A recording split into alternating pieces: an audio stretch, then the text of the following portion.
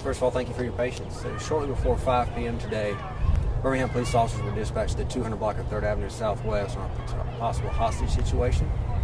When officers arrived, they observed uh, a citizen come out uh, with a firearm. Uh, that citizen was disarmed by another citizen and was subsequently shot. Officers then returned fire and uh, shot the individual who shot the first citizen.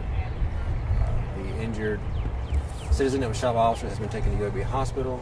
They are conscious and alert. ALEA is on scene and is investigating. Was there a hostage? Well, that's what we're looking at right now. We're investigating to see, or ALEA's going to be investigating to see, is was there a hostage situation? Do they know each other? We don't know that at this time. So the suspect shot one person, and then the police shot the suspect. Well, w- a citizen shot another citizen in the officer's presence, and the officers returned fire, shoot- shooting the person who shot the first citizen. Has the person who the police shot been arrested, or was he taken to the hospital? or That person's been taken to the hospital. So how many people have taken to the hospital? So there's one person deceased and one person's been taken to the hospital. Who is deceased? The person the citizen shot. Okay. Were there ever any shots towards the police? We don't know that at this point in time. Okay. That's one thing that ALEA will be investigating, trying to determine. The officers involved are they still acting on the case? Are they still? No, they've been taken uh, away from the scene. Can you tell us about what apartment complex this was at, or kind of you know the I don't original know the, the the name of the call? apartment complex. It's in the 200 block of 3rd Avenue Southwest. It's about all the information I have about the apartment complex. Can you share why officers thought there was potentially a hostage situation? They were dispatched here on that. That was the original call that they were dispatched on. There was nobody actually inside that you guys are aware of at this point. I mean, Well, someone walked we did go in and get the injured person out of the apartment. They fled back into the apartment, and we went in. We were able to rescue them and get them aid. Chief, were there witnesses? Did other people see this happen? That's one thing ALEA will be investigating. We just don't know at this point in time.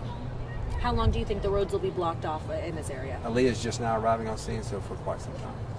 How scary is it for officers when they when they do respond to hostage calls? Whether you guys know it's a hostage situation. Well, or any not? call that an officer responds to like that is, is very dangerous, and officers have to use caution on any call.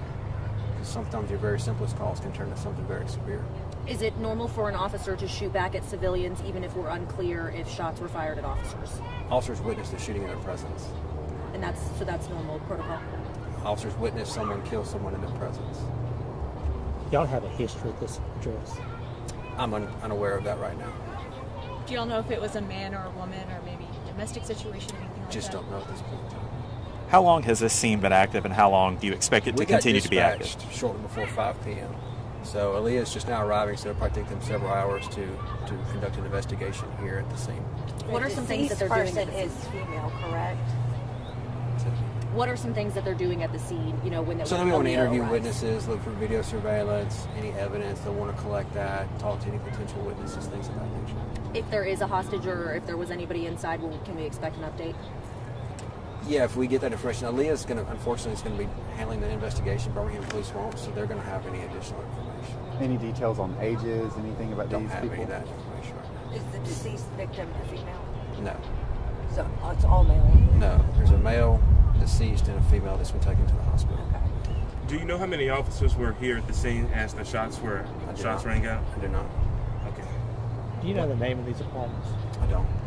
What about the people in this area? Is it dangerous? Do they need to not be staying here if they live No, there's no danger to the public at this point. The the female that was taken to the hospital. We have any idea of her condition? How she, She was conscious when she left the scene. Do you know? Um, do we have any idea on where either victim was shot or anything about that, I don't have that information. or how many rounds were fired? I don't.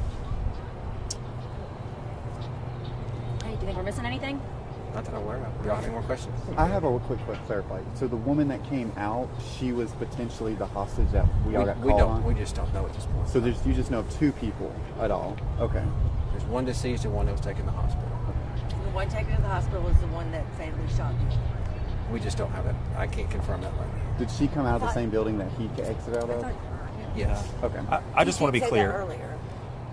I understood it. That I said a citizen shot another citizen in the officer's presence, and officers returned fire. and shot.